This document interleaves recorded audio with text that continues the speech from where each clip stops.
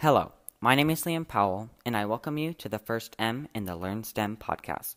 Just to let you guys know, I'm sorry for the microphone quality, as we are still figuring out how to fix the audio. But back to the topic. In this Learn STEM session, I'll be talking about the statistics concerning infection rates of the vaccine, the severity of illness if caught, and what is showing to be the best way to combat the new Delta variant. Once you're done listening to this, be sure to check out our other Learn STEM creators, who are Melania, Nisa, and Rayanne.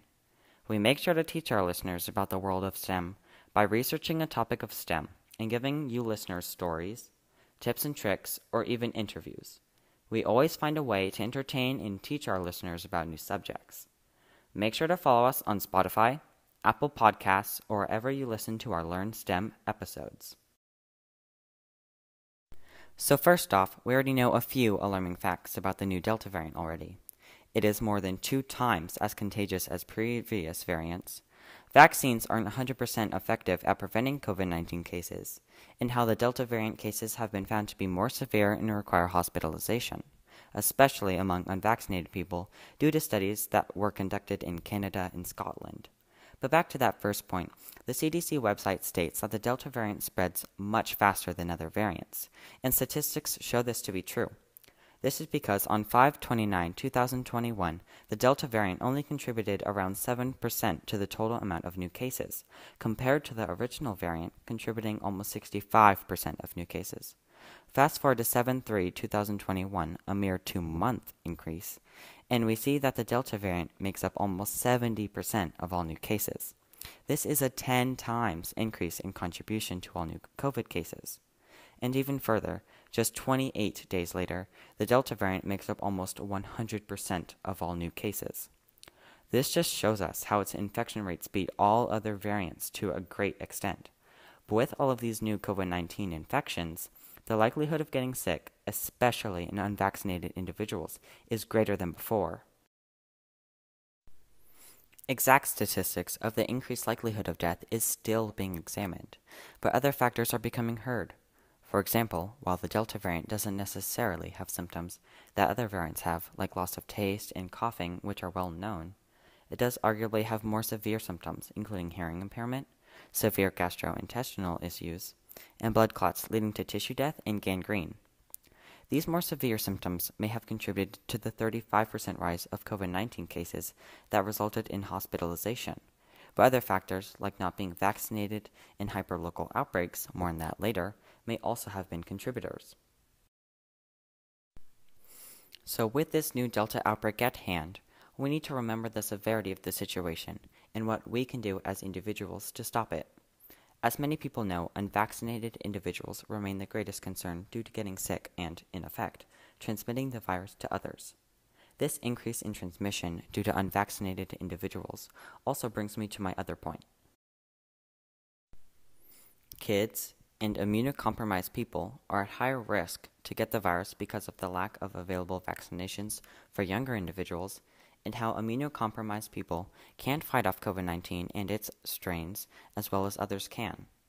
Adding on to this, children in the week ending on August 26th made up 22.4% of all new COVID 19 cases. This rise in pediatric cases is impacted by going back to school. But still, we need to look at how the Delta variant and anti vax and anti mask individuals do increase concern on the transmission and hospitalization of COVID 19. So, in all, what is the best way to fight against the Delta variant and stop the spread of COVID 19 in the best interest of those who can't protect themselves? The answer is actually quite simple get vaccinated and wear a mask. For example, the CDC stated that wearing a mask reduces the spread of particles or respiratory droplets upwards of 80%.